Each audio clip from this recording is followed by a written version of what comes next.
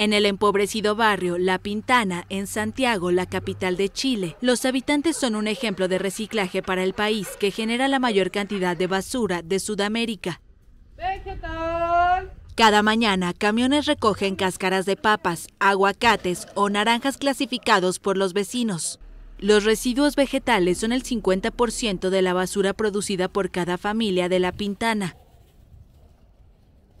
Es muy importante esto de, que la comuna haya tomado la iniciativa de hacer eh, la gestión ambiental y separarlo, motivar a los vecinos, porque todo va en la motivación, motivar a los vecinos a que, separe el vegetal y lo, lo pasemos a buscar nosotros en el camión.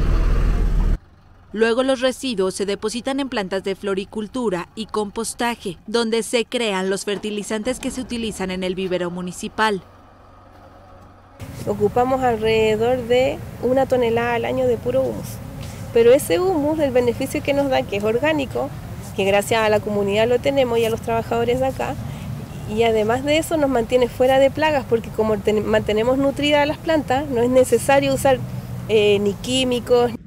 En este lugar, levantado en un antiguo basural, cada año se producen 100.000 plantas de 400 especies distintas.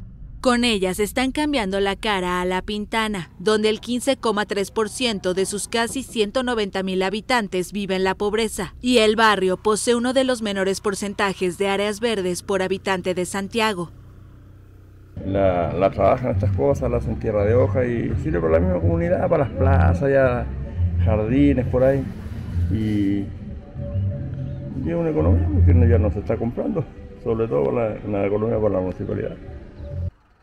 En Chile, cada habitante produce más de un kilo diario de basura y se recicla solo el 0,8%, de acuerdo al Ministerio de Medio Ambiente, muy por debajo del promedio de América Latina, de un 4%, de acuerdo a la Comisión Económica para América Latina y el Caribe. El programa en La Pintana lleva 17 años y el barrio ha obtenido una serie de reconocimientos, entre ellos el Premio de Agua del Banco Norteamericano de Desarrollo, de la Fundación FEMSA y el Premio Nacional de Innovación Aboni.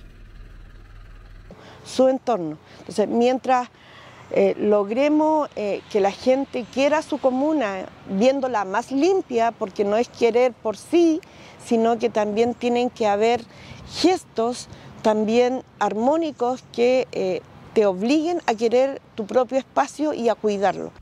Los desechos de vegetales no son los únicos que reciben una segunda oportunidad en este barrio.